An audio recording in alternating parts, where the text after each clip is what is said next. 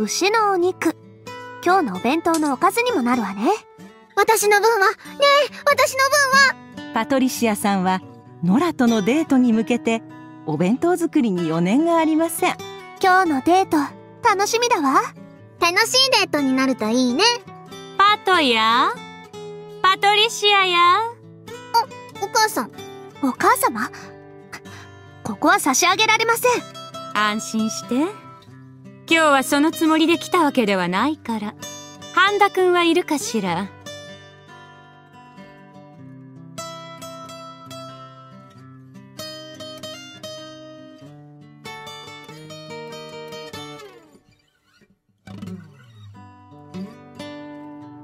失礼します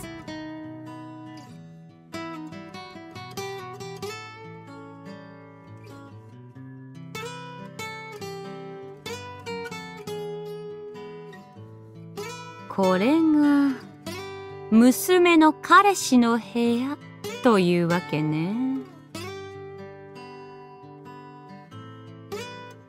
まあこんな経験初めてですから。失礼があったら言ってちょうだい。この前は私のことを怒鳴ったわね。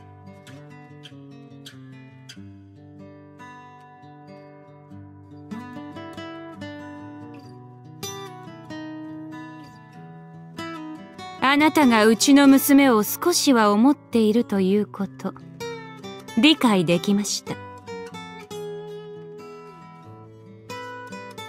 しかし私は娘よりも頑固ですからまだあなたのことを信用していません。そこで、一つ提案があります。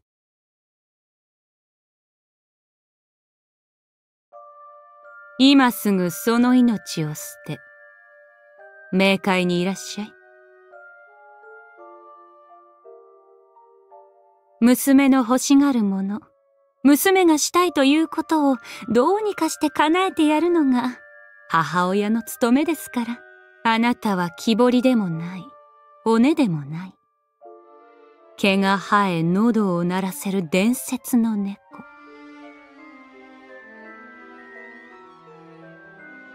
けれど猫にもなれる。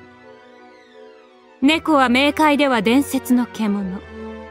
娘が欲しがるのも無理はありません。いらっしゃい、冥界に。その命を捨てて。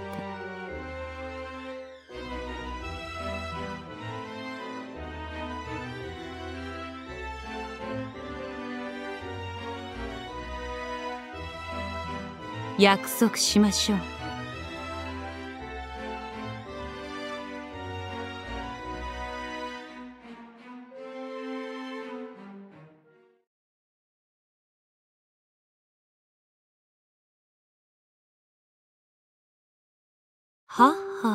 とはあなたのお母様？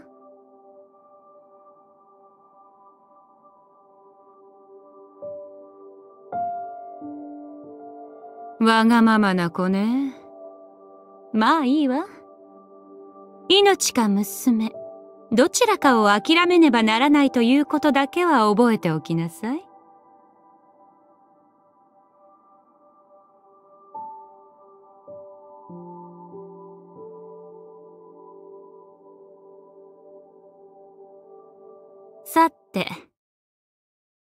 は娘とデートをするそうですね。私もついていきますので。しかしこれが好いた男の部屋とはまったくもって狭いわね。しかもちょっと散らかってるわ。あの子もね勉強熱心なのはいいけどよく散らかすから。これは算術の本。そしてこれが歴史の本。ああそして料理の本ね。あら。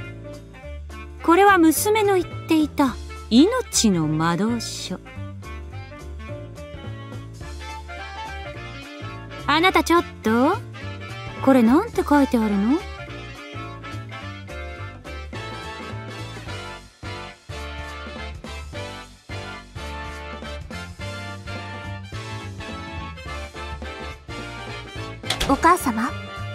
には赤ちゃんできちゃうと書かれています。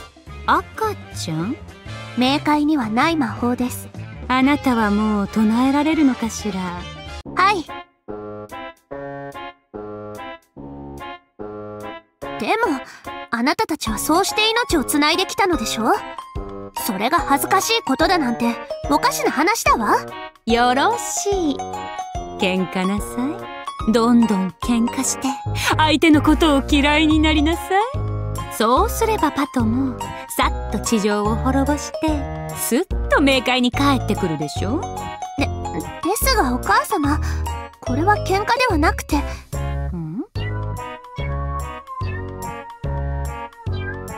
はい？こうしてぶつかり合って相手の気持ちを確かめ合うという。まあ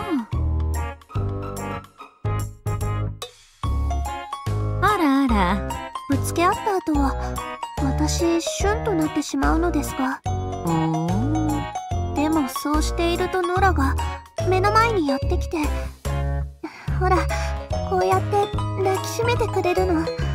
ふむふむ。そうしてね私はノラの腕の中で言うの。向きになってごめんなさい。するとノラは答えるの。俺の方こそごめんそして私はおねだりするの。チューは？チューはしてくれないの？するとノラはいつも照れてそっぽを向いてしまうから。私が無理やりこうしてノラにキスをするの。するとねノラが高ぶってきて私をベッドに押し倒してそのままことが始まって最後に私は唱えるの。赤ちゃんできちゃう。あら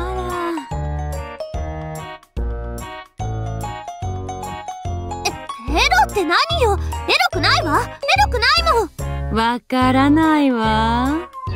あなたたち互いのことが好きなのか嫌いなのか。好きです。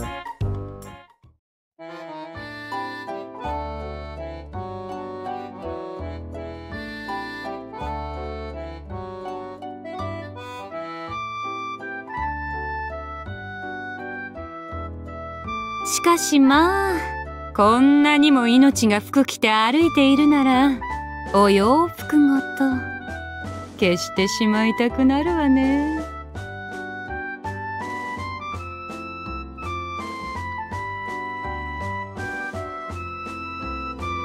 そうよお母様。いけません。お行儀が良くないです。お行儀？冥界には冥界のお行儀が。地上には地上のお行儀があります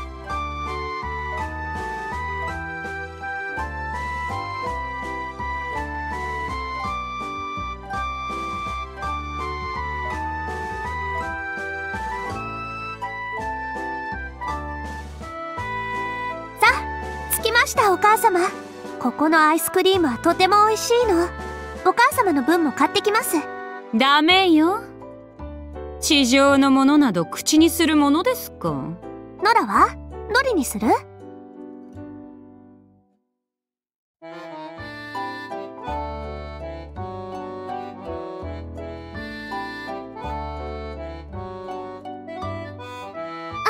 すいません。サインもらえますか？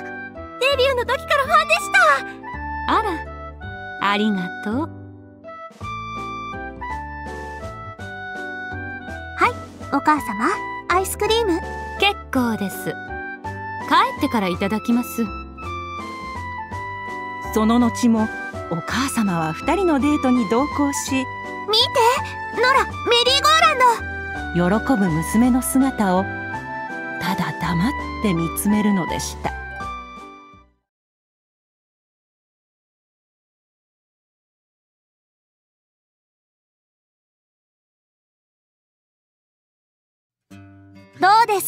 母様。地上はこんなにも楽しいのです。疲れました。それはきっと楽しかったということです。ねノラ。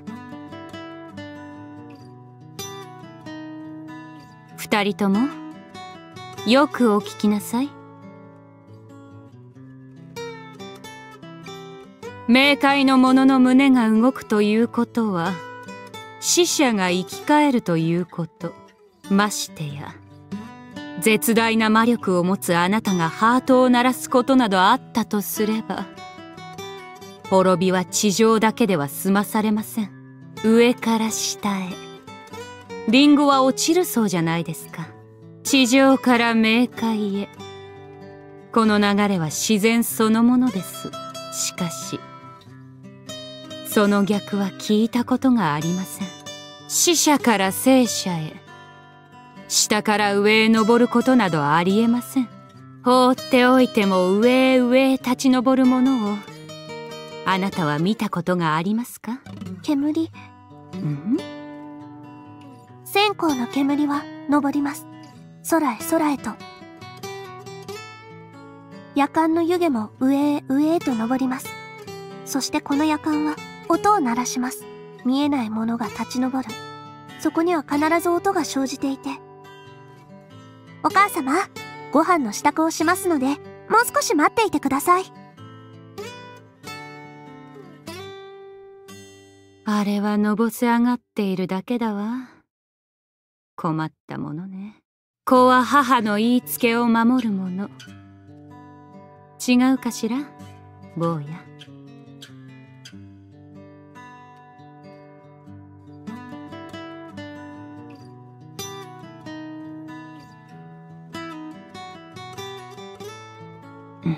半田君。あなたは娘の彼氏ということで教えておいてあげましょう。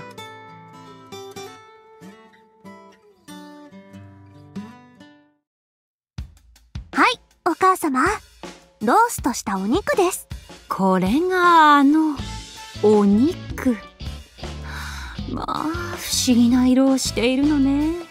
あらしかも柔らかいこんなに柔らかいのは初めてだわ。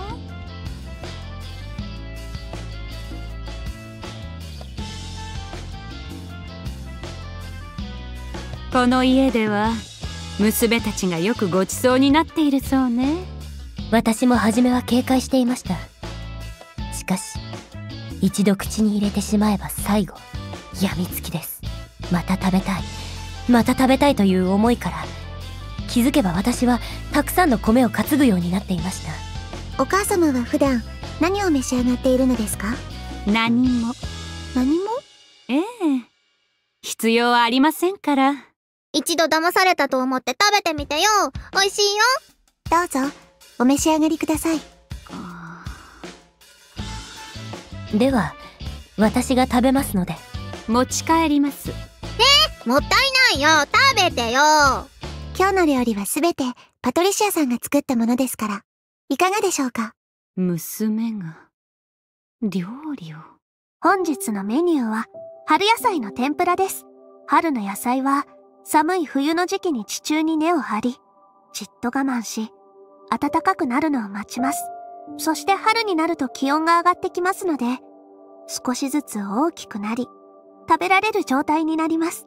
うどふきのとうタラの芽ナスかぼちゃみょうが青じそ。ローストしたお肉と一緒に。どうぞ。パトネーはね食べ合わせはねおかしいんだけどね。まったく。本を読むことしか知らなかったというのに持ち帰ります。その日お母様は城に戻り初めて地上の食事に手をつけました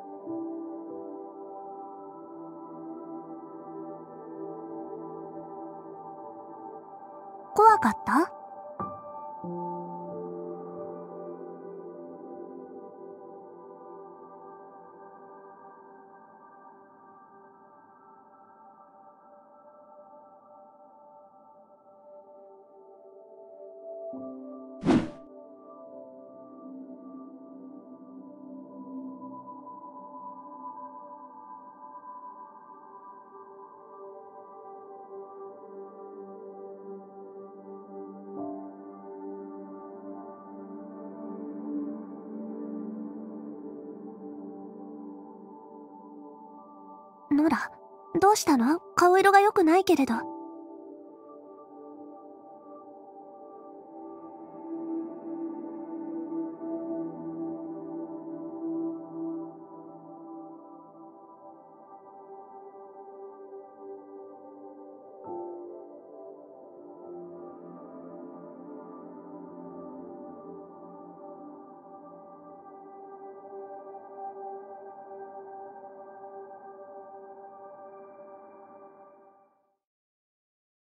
なたたちが口づけを交わし、止まったハートが動いた日。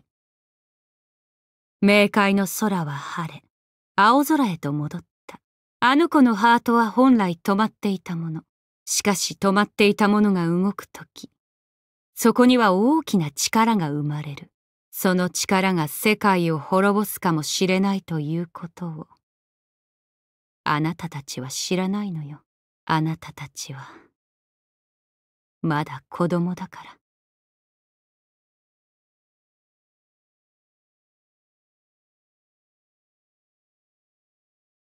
よかった。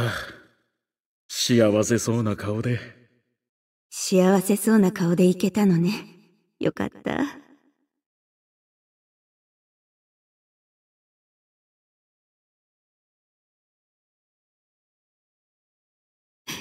よかったわね。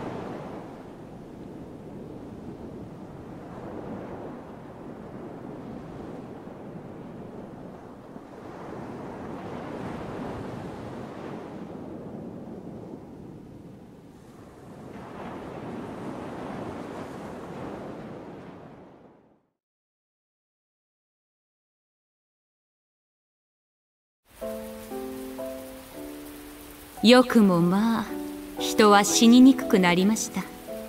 特に寿命は伸びるばかり。このままではいずれ人は死を忘れてしまうのではないかと思い出してもらうため娘に滅びを命じました。しかしまあ娘は賢いですから娘なりに答えを出してここにいることを選んだのでしょう。ご覧ください。発達した台風が3つも存在しており台風が3つ。自由奔放な私の娘。自由なのは構いません。しかしこのままでは地上は滅び冥界すらも滅びを迎えることだけを伝え私は私の世界へ帰りましょう。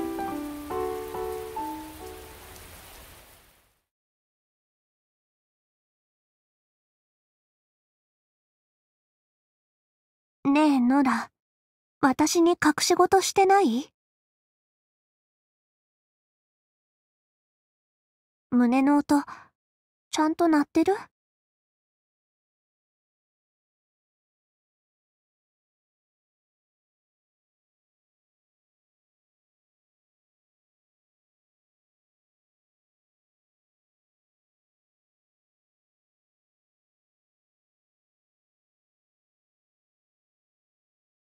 だって今朝、眠っているノラにピトって抱きついたら音がしなくて。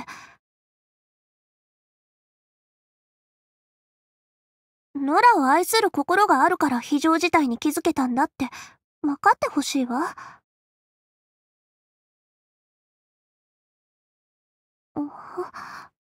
どうして？なんで逃げるの？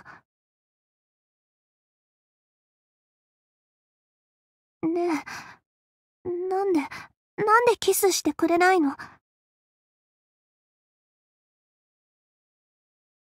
不安になるの。ねえ、どうしてなの？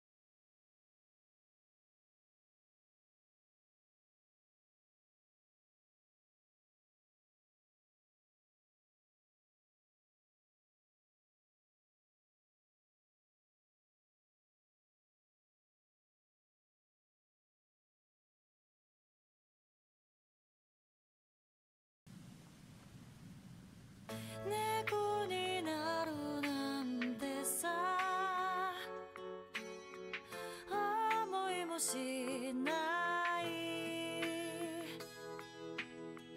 だけどその代わりに君が見えたんだ。忘れ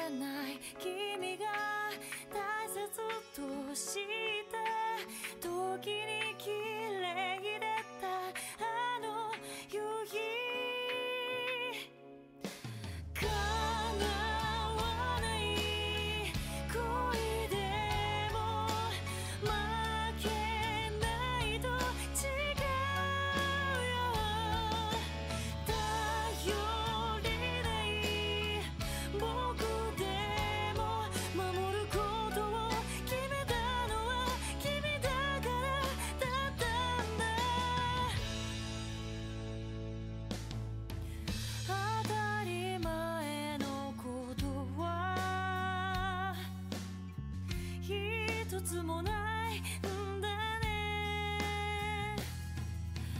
大事な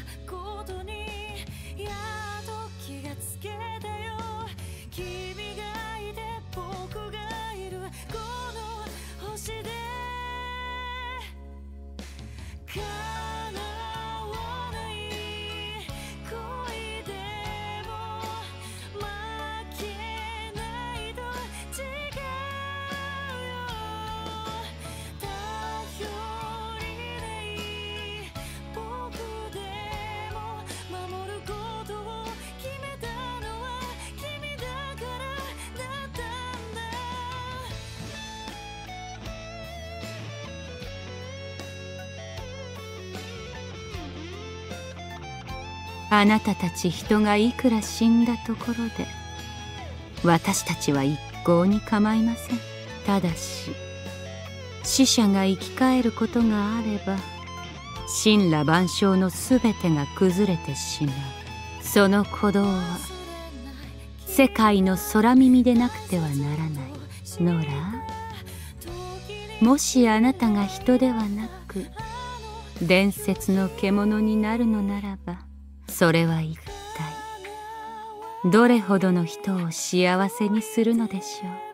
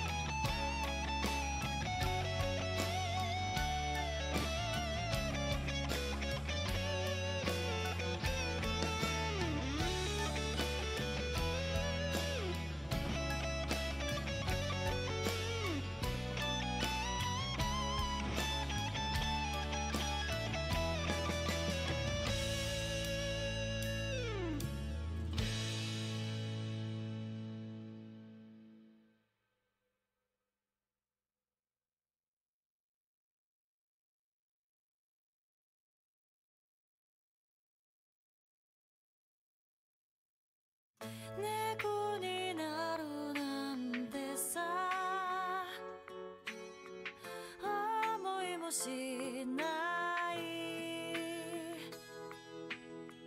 だけどその代わりに君が見えたんだ。忘れ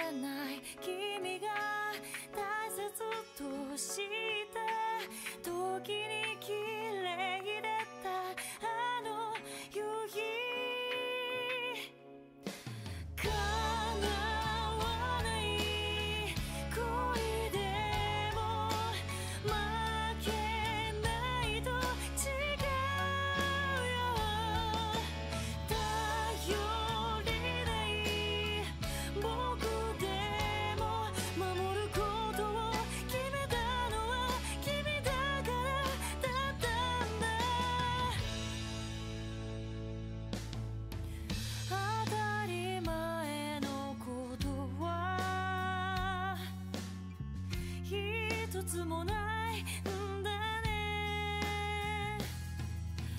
大事なことにやっと気がつけたよ。君がいて僕がいるこの星で。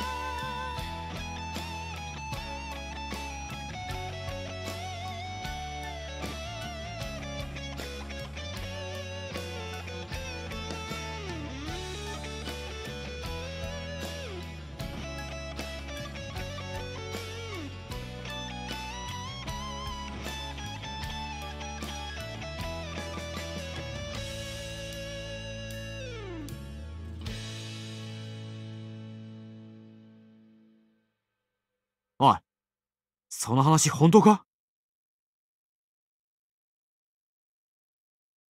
お前が余計なことをしたからか。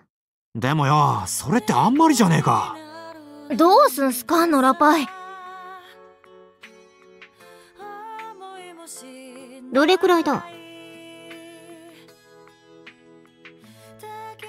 す、すぐってどれくらいでしょう？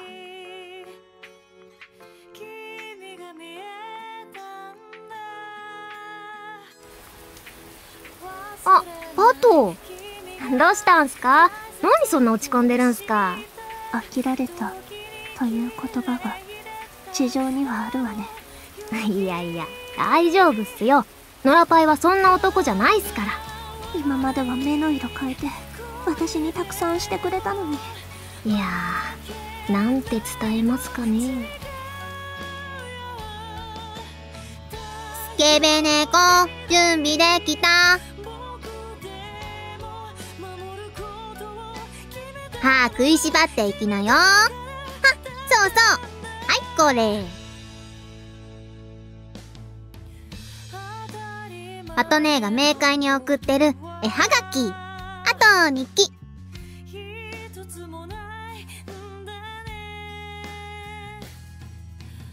毎日書いてるよ。心臓が動き出してから、どんどん色も増えていって、ずっと書き続けてる。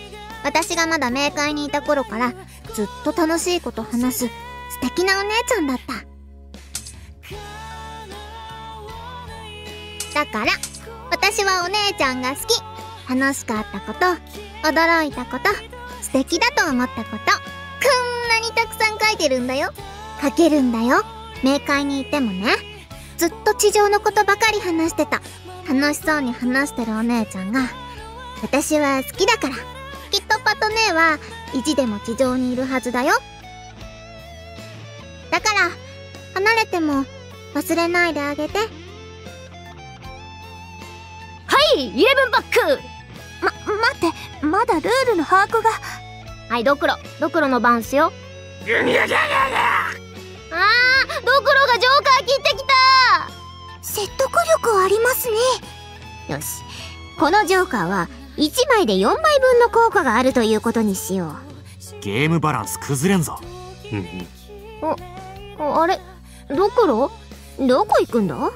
おい、もしかして、帰るのか？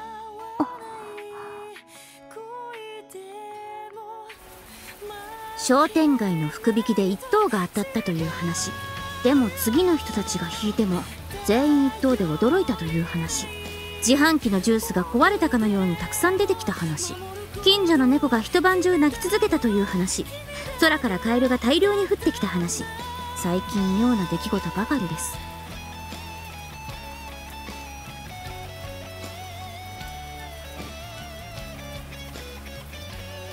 半田くん少しの間出かけるって言いますけど本当に少しなんですか？何かすごく嫌な予感がするな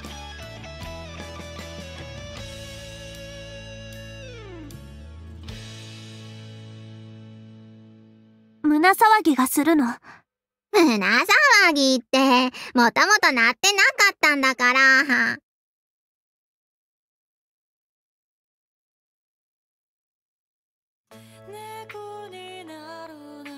そうだよ、パッとね。考えすぎだよ。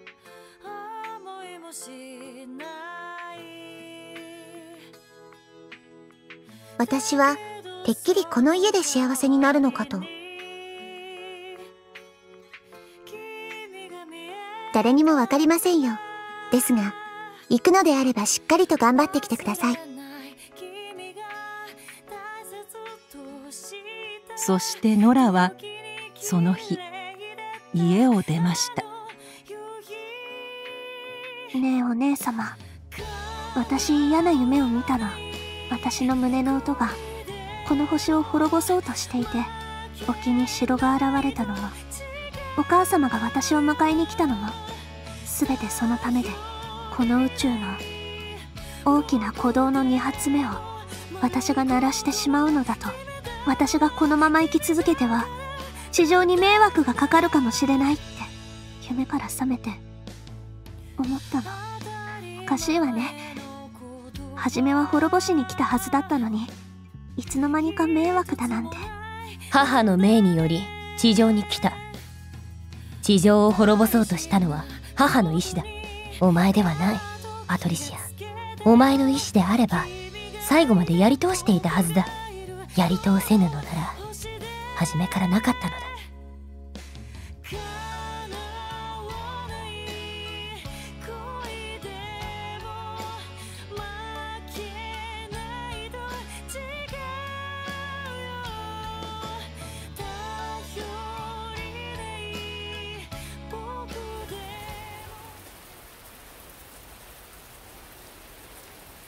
その日ノラは家を出ました。荷物は持たず手紙は残さず煙のように家から姿を消しました。ノラしかしその煙を見つめる瞳はまだ星のように輝いていたのです。どこへ行くの？満月に音が止まるのは私ではなくノラあなたなのね。バカよ。私なんかかばうから。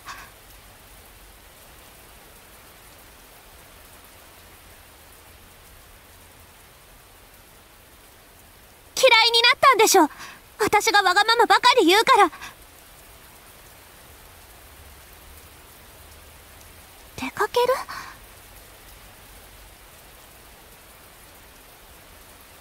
私も連れてって私も働く働いて一緒に住む。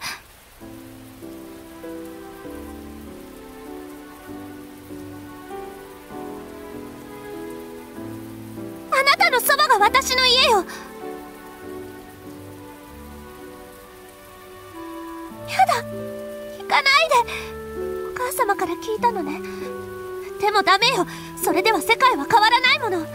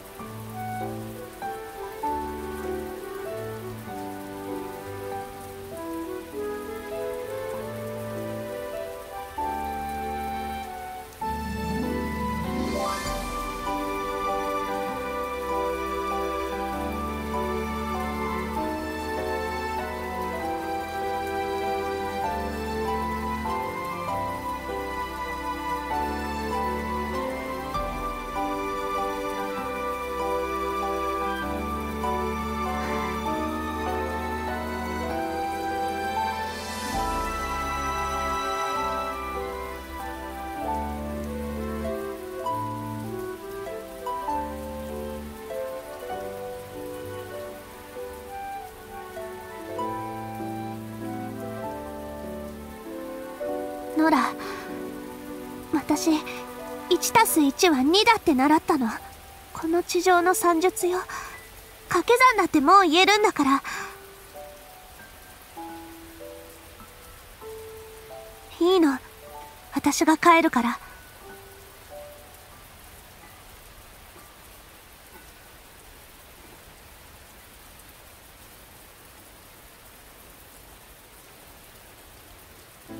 じゃあ私も一緒に行く。あなたと行く。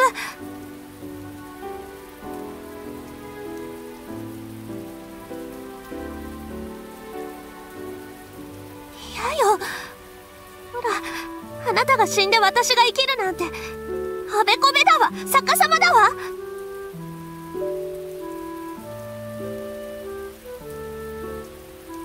いやノラ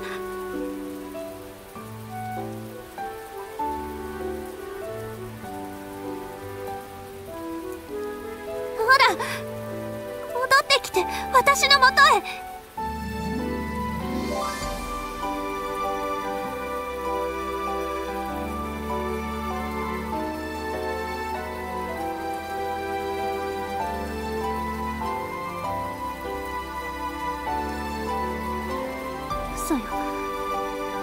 ってわかるもの？だってあなたそんなに頭良くないもの。そんな難しい問題わからないわよ。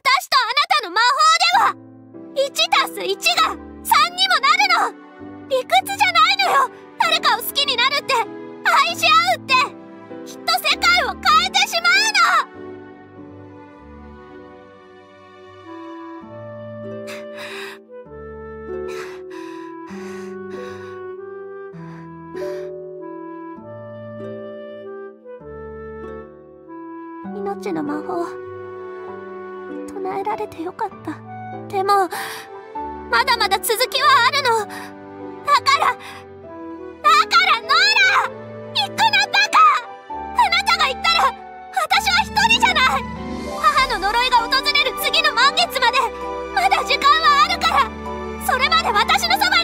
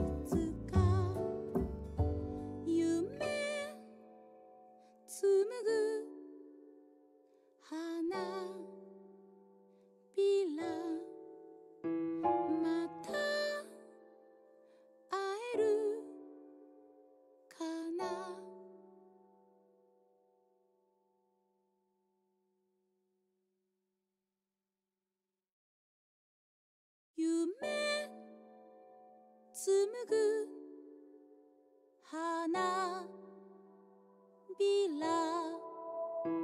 見上げれば月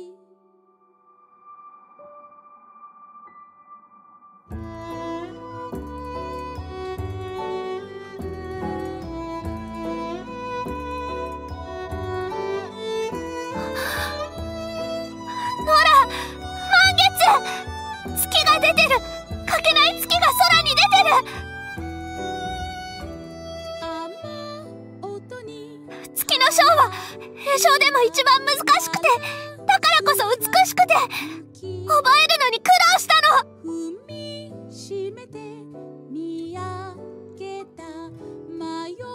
ノラ月が綺麗ね。雨降り注いだ後の月は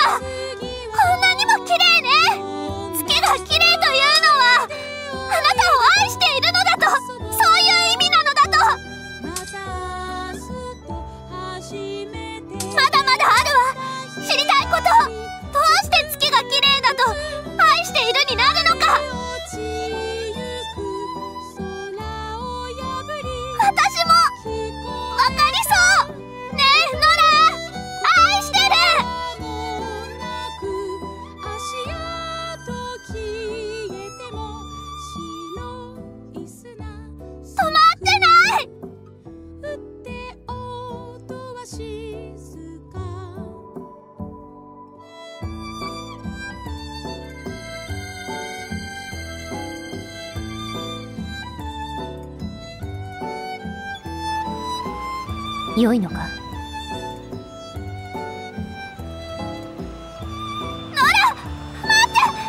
我々冥界のものは奪うか殺すかでしか手に入れることができない。しかしその断りを変えることができるならパトリシアお前とまた会うこともできる。泣くなお姉ちゃん。ミーそれ？なんでなの？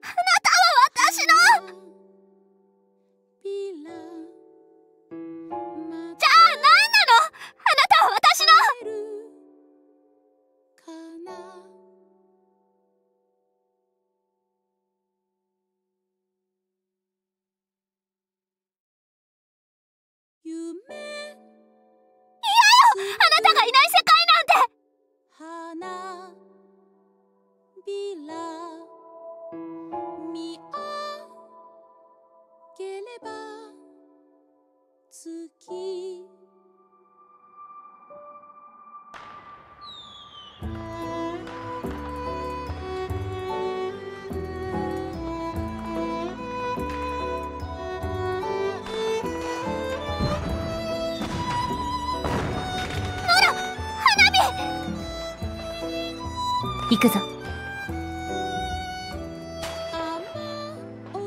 はあ食いしばんなよ。こうしてノラは世界の均衡を保つため神羅万象増えた音の数だけ自らの音を差し引くのでした。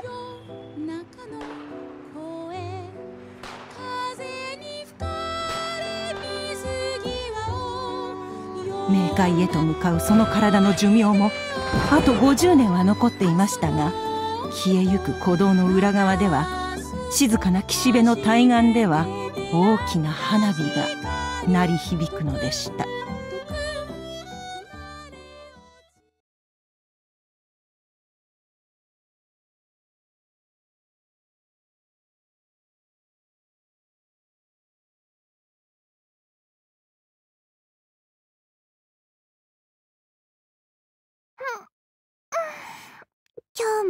天気ね。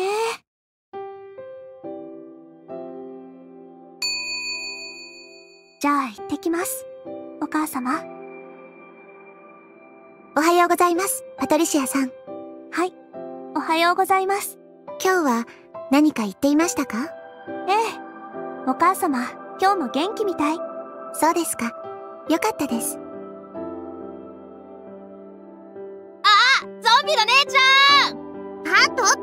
なきゃダメでしょ？宿題やった？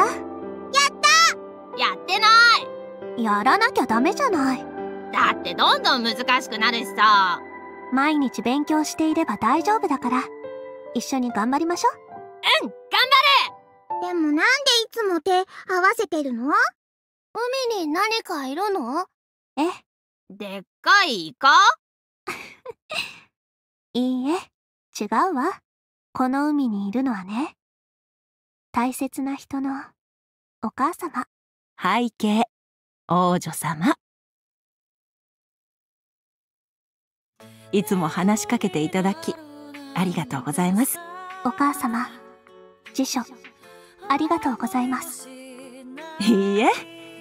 あなたのような人に使っていただけて私はとてもほっとしています。あなたはいつもなぜ？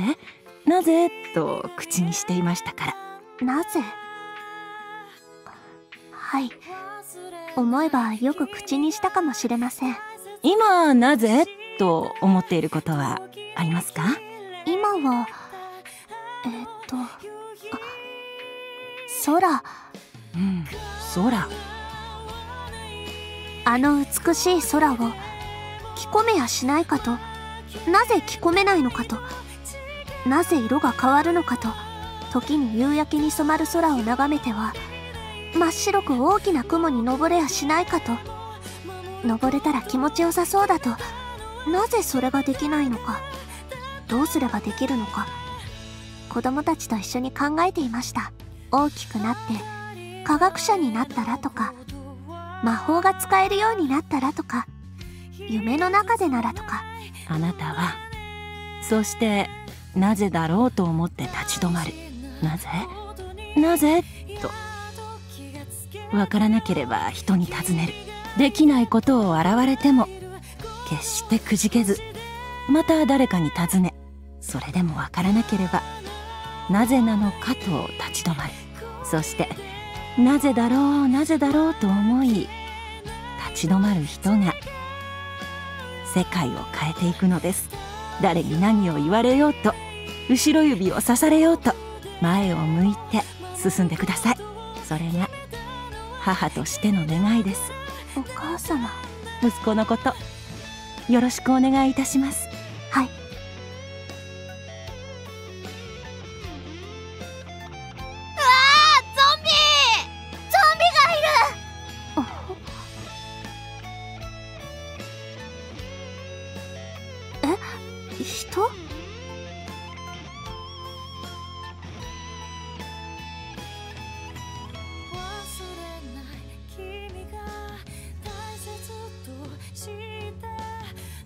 夫ですか？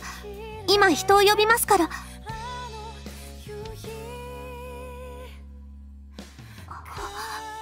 あなたは？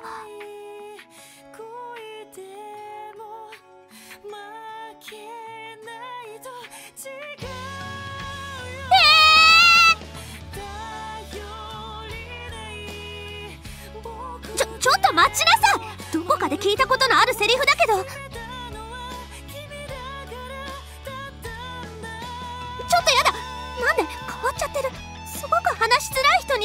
わいえ私は地上の人間ではなくて。あしかも炎症までできるようになってる。いやーごめんごめん。千年も経つと頭バカになっちゃうんだよね。ゆうスケベ猫。ほら思い出して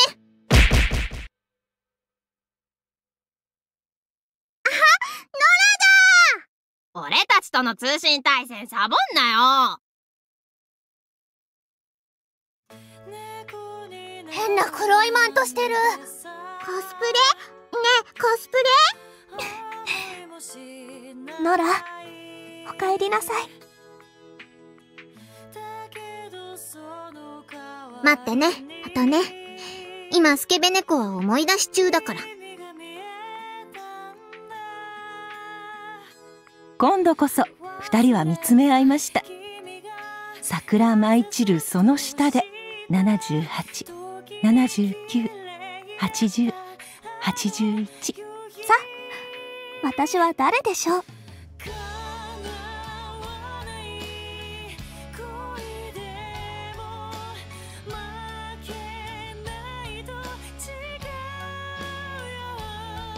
はい。よくできました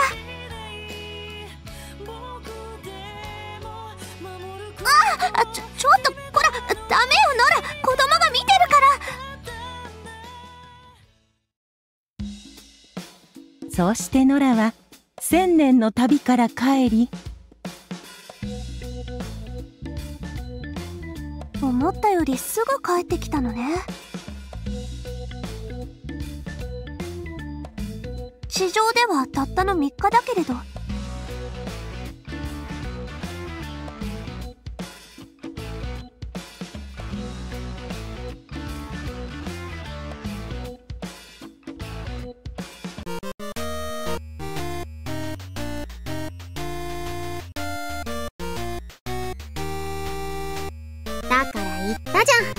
心配しなくても地上じゃそんなに時間経ってないって。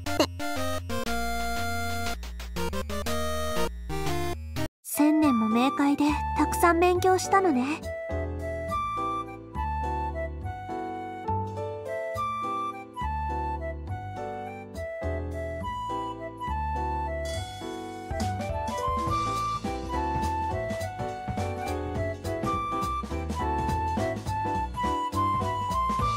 そしてお母様に命じられてここへ来たのね。食い止めましょう。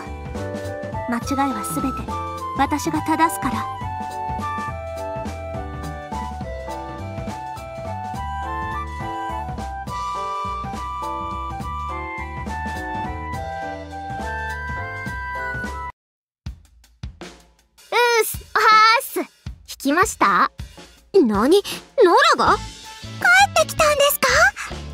早くね？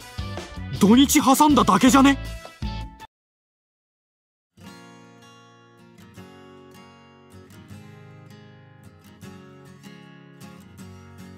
は千年？まだ3日だぜ。こいつは何をはしゃいでる？さあなんすかね？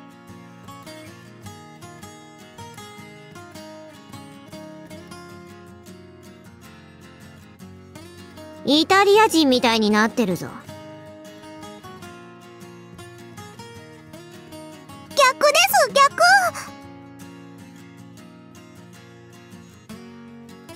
逆。100%ちげえし。おい俺はどうしたんだよ。ざけんなよ。そのうち思い出すから安心してよ私たちの間ではお前が土日でプチ家でした。くらいの感覚なんだが。今日だってただの欠席扱いだぜ。わ半田君何してるんですか？休学届出したんじゃ。ノラが新しい魔法を覚えて帰ってきたらしいの。魔法？土日で魔法だ？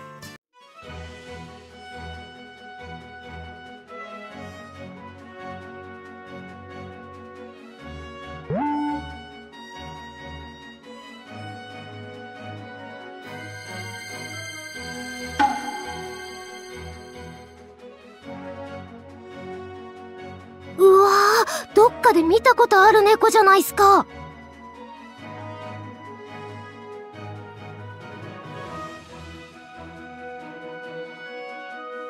しかも喋れてませんか？すすごい。この土日で一体何が？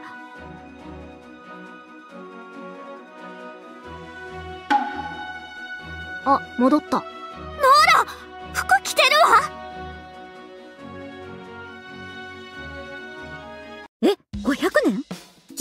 500年無駄にしてないか？なんか 地味なんすよね。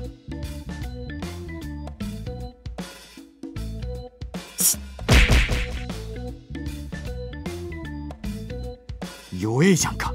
あー屋上から落ちていく。な、なんだかいつもの半田さんみたいでよかったです。でもいいんですか？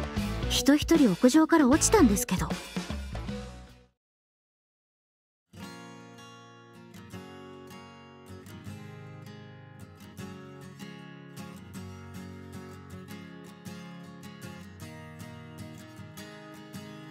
千年分の食事をしましょうね。それにしてもこの土日で。ね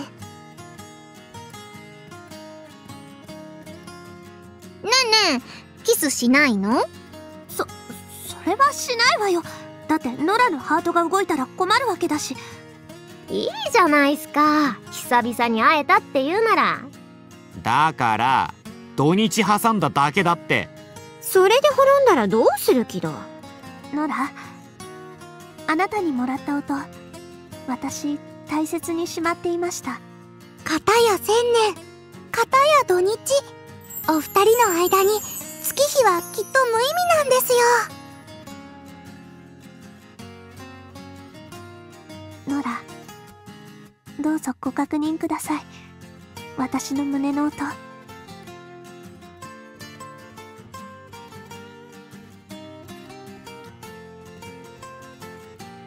伝説は乳房を揉んだぞ。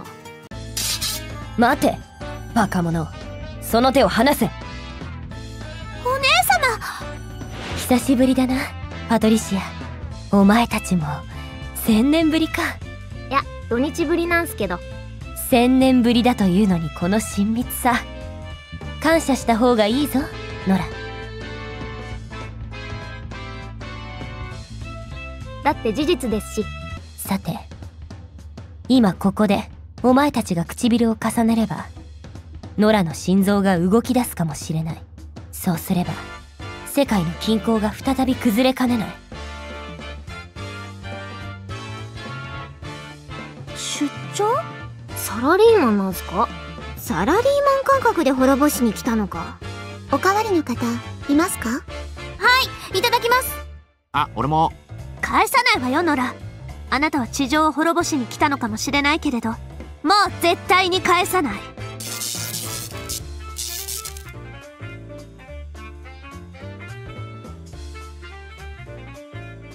王女様の魔力は健在らしい。うちら全然感じないっすけどね。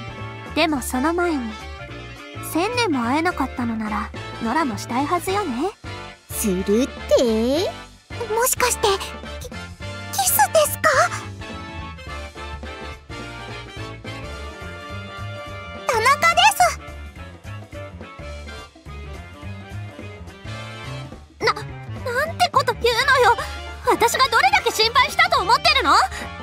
いやあれはノラの照れ隠しだ。顔真っ赤じゃないっすか。あいつ千年も冥界にいたから女を前にガチガチに緊張してんじゃねえの？も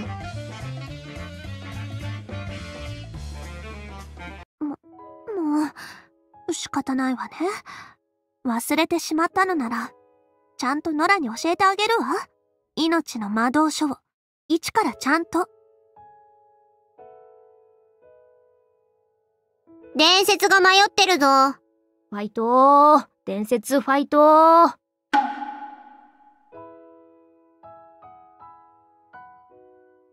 あ伝説が逃げた。おかわりの人いますか？はーい。はいはい。待ちなさいノラこうして黒い獣はしばらくの間地上で暮らし家族や友達にたくさんの迷惑をかけながらも王女様と共に末永く末永く幸せに暮らしました。待ちなさいノラ。まずは一緒に手つなぎデート。耳かき休憩を挟んで次に唇。私の一生ものでいるって約束でしょ。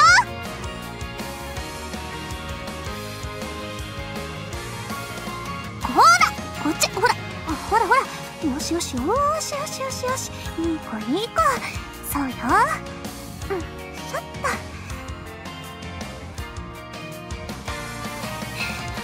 捕まえた。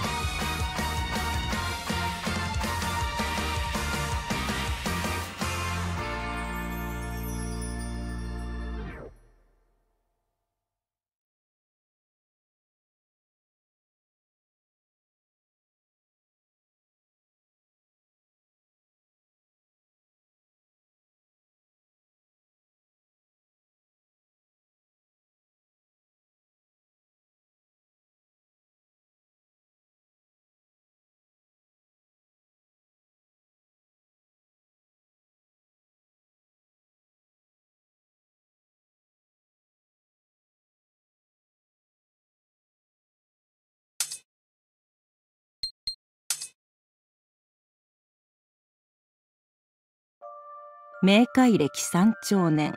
緑生い茂る地上が冥界王女に支配されてからというもの。